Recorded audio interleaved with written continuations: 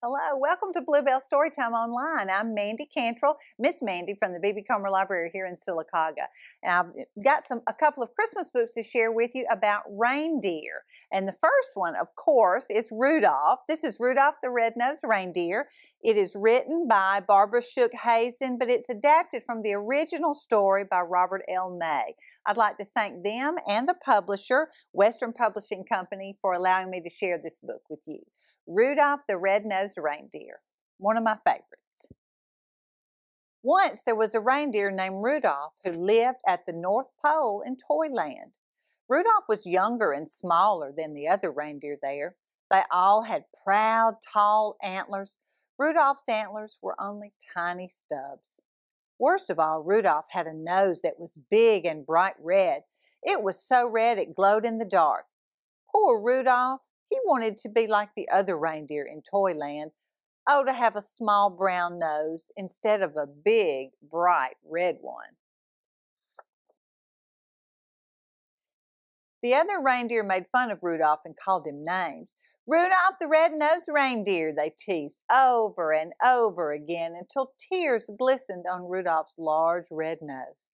They kicked up snowballs with their tiny hoofs and covered Rudolph with a blanket of white fluffy snow. Sometimes the other reindeer made a circle around Rudolph and sang, Red nose, red nose, a funny sight, big as an apple and twice as bright. All the reindeer loved to play games. They played tree tag and snow slide and tumble bones, but Rudolph was never asked to play. He stood behind a pine tree and watched. He was very lonely. Rudolph couldn't even play hide and seek with the rabbits. His glowing red nose gave him away every time. Before Christmas Eve, Santa's elves posted a sign on the gate to Toyland. Santa's team choosing time, the sign said. All the reindeer were asked to line up at 8 o'clock in the meadow. Santa Claus was coming to choose the team that would deliver presents to every good little boy and girl in the world. The reindeer fairly danced with excitement when they heard the news. They pranced and tossed their antlers and pawed the snowy ground with their hoofs. Each reindeer hoped he would be chosen to guide Santa's sleigh. It was the greatest honor a reindeer could have. Rudolph sighed. He was so ashamed to have Santa see his bright red nose, so he decided to hide. In the meadow, all the reindeer in Toyland, except Rudolph, stood in a line while Santa inspected them. Santa chose carefully.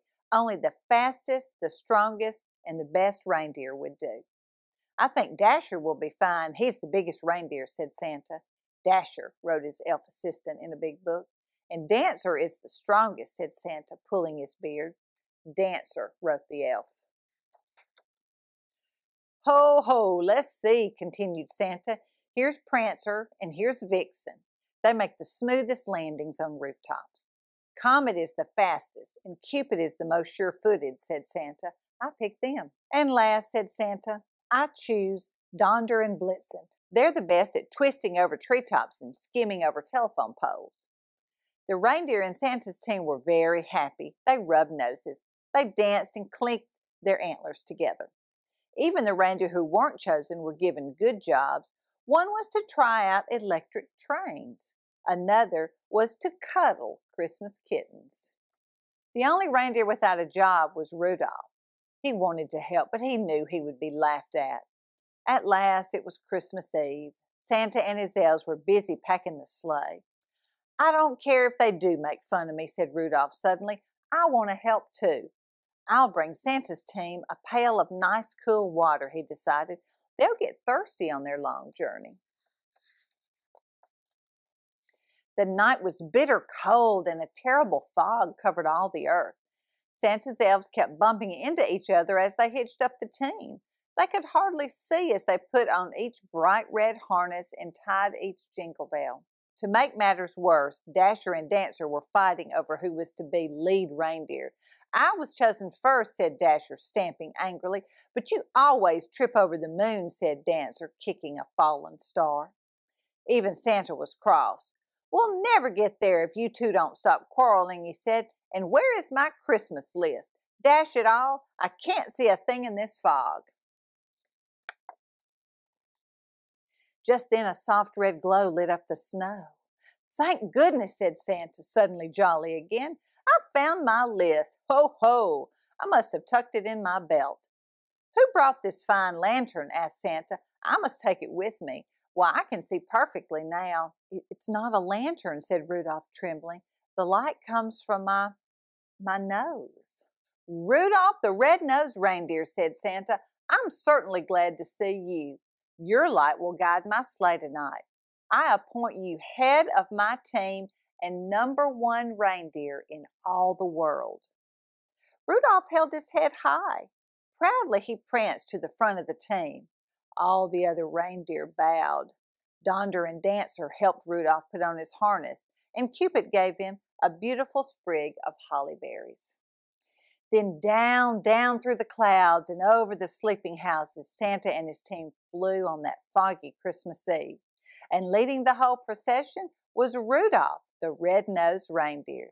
So if you see a soft glow in the sky on Christmas Eve, you can be sure that Rudolph, the most famous reindeer of all, is very near.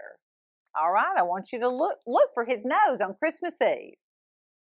All right, now I want us to do a little flannelboard story about Rudolph. Now you can see he doesn't have a nose. I want you to see if you can help me decide what color nose he needs. Right? What color, what color nose I'm about to put up. All right, Rudolph, Rudolph, what will you do? You can't guide Santa if your nose is blue. All right. Rudolph, Rudolph, it's time to fly at night. You'll be quite a sight if your nose is what? White. Good. Rudolph, Rudolph, Santa give a wink. What will Santa think if your nose is pink? Bet you guessed it. There. Rudolph, Rudolph, Santa has his sack, but you're not ready if your nose is what do you think? Black. Good. Rudolph, Rudolph, you're such a silly fellow. Who will know it's you if your nose is, see if you can guess it, yellow, right. Rudolph, Rudolph, it's time to go to town. Santa will wear a frown if your nose is brown. Yeah, you're getting those rhyming words. Rudolph, Rudolph, the children are in bed. Now I know you're ready because your nose is red. There, that's just how he's supposed to be. Good job. Now I'd like to read a story about another one of Santa's reindeers. This is Dasher. This is a beautiful book, beautiful pictures. I'd like to thank the author, Matt Tavares, and the publisher Candlewick Press for allowing me to share the book with you. Dasher. Life was not easy for the reindeer family of J.P. Finnegan's traveling circus and menagerie.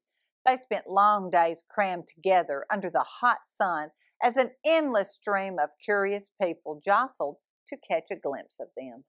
Even at night, there was little rest. Some nights, to pass the time, Mama would tell stories. It was a magical place, she would say. The air was crisp and cold, and the ground was always covered with a cool blanket of white snow.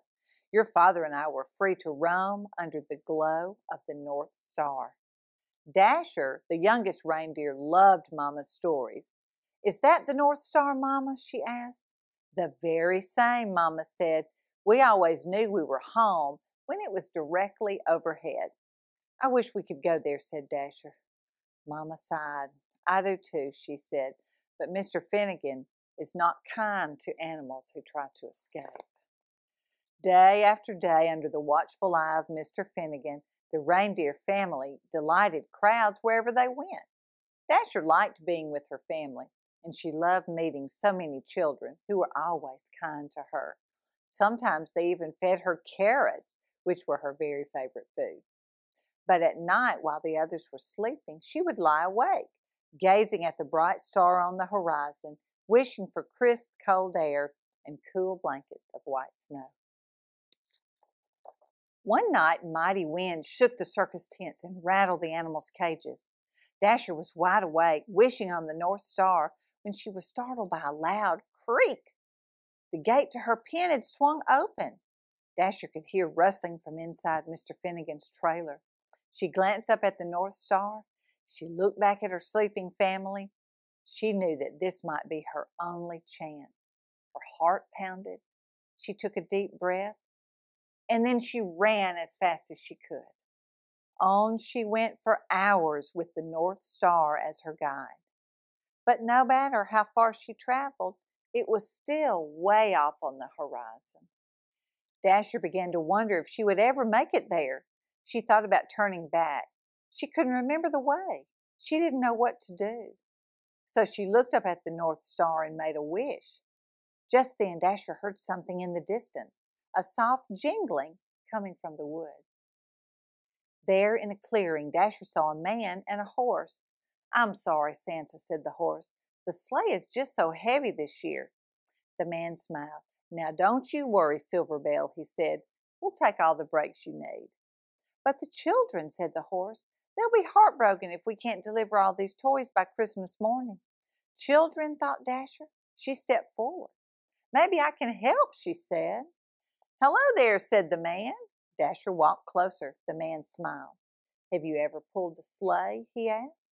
Dasher shook her head. I've never even seen a sleigh, she said, but I pull a wagon just about every night. Well, said the man, how would you like to make a whole bunch of children happy by Christmas morning? I would like that very much, said Dasher. Santa thanked Dasher and attached her harness. It was soft against her fur, and its jingling bells made the most beautiful sound she had ever heard. Santa climbed into his sleigh. Dasher pulled with all her might. Then suddenly the load felt lighter. Dasher looked down. They were flying. All night, Dasher and Silverbell pulled Santa's sleigh through the air as Santa guided it from rooftop to rooftop, delivering toys to children everywhere. Dasher had never experienced such a thrill, and she ate so many carrots, she felt like she would burst. She was having so much fun, she forgot all about the North Star. As the first light of dawn appeared on the horizon, they landed. The air was crisp and cold. The ground was covered with a cool blanket of white snow. Dasher searched for the North Star on the horizon, but couldn't find it anywhere. Santa smiled. Dasher, he said, look up. And there it was directly overhead. Is that the North Star? she asked. Santa's eyes twinkled. Merry Christmas, he said, and welcome home. The North Pole was just as wonderful as Mama's stories. Dasher roamed wherever she pleased, and Santa gave her all the carrots she wanted. But something was missing. I love it here, she told Santa, but I miss my family. I wish we could be together. Santa smiled. That's your best wish yet, Dasher, he said. Let's go find them. Late that night, Dasher guided Santa's sleigh all the way to J.P. Finnegan's traveling circus and menagerie.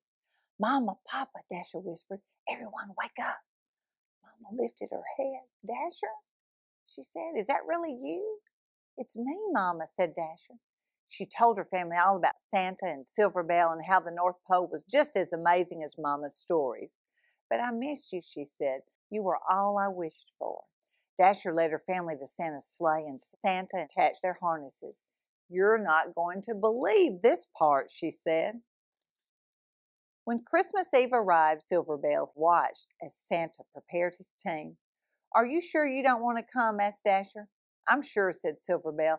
I know the eight of you will do a fine job.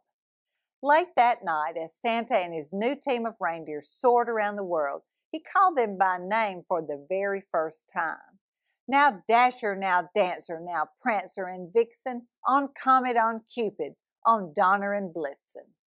On Christmas morning, after all the toys had been delivered, they flew back to the North Pole where they still live happily today. There the air is crisp and cold. The ground is always covered with a cool blanket of white snow, and Dasher has everything she ever wished for. Well, all right. I hope you enjoyed those reindeer stories, and thank you so much for joining me at Blue Bell Story Time.